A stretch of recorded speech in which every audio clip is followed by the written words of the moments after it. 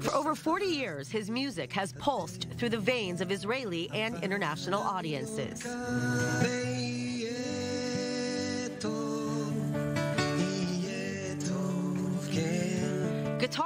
Singer, and songwriter David Broza's first song, It'll Be Alright, even attracted the likes of Jackson Browne and Shawn Colvin to Masada in Israel's Negev desert.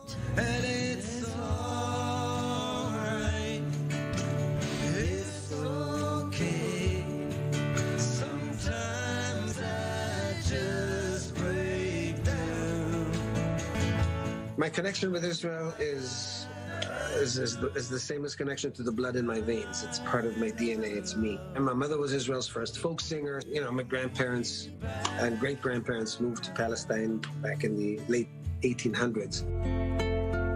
Broza has been living in New York City during the corona pandemic during a low note in the Israeli music industry, which has silenced close to 200,000 people. They're paying from month to month, check to check, uh, and now everything. It was the first industry to shut down. It's going to be the last to open up.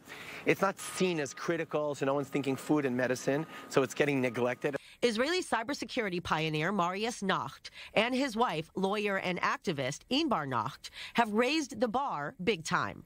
With the direction of CEO Nachman Rosenberg, the Nacht Family Foundation donated nearly $4 million to create Tzav Hashaa, which means call to action.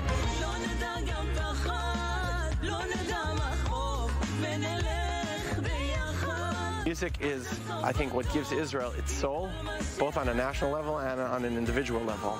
Nationally, there is no Israeli state without Israeli culture, and there's no Israeli culture without Israeli music.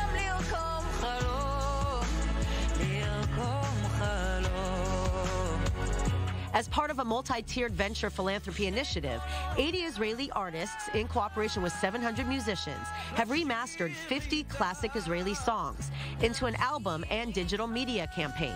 They also got personal Rosh Hashanah Happy New Year grants straight into their bank accounts just to help them you know, pay for groceries.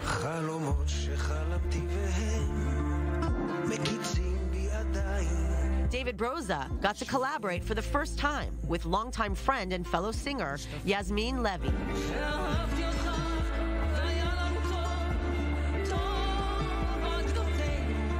This was coming, right? This is Michelle. You know, you're thinking, if it's ever going to come, it's now. And so, of course, she recorded in Tel Aviv, and I recorded in, in somewhere in Brooklyn.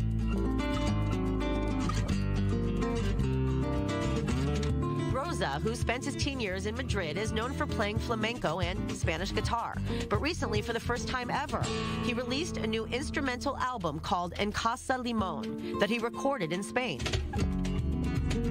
And in addition to being on call to help infuse Israel's music industry, David Broza is also pulling some strings to strike a chord with underprivileged youth from all over the world as part of his own nonprofit called One Million Guitars. I concentrate on fourth and fifth graders, and they, if they, if they stay with the with the classes for two years, they get to keep the guitars for life. But I think an instrument or any form of art con- connects directly with your soul, with your personality, and helps you bring it out and excel within yourself. Emily Frances, I 24 News.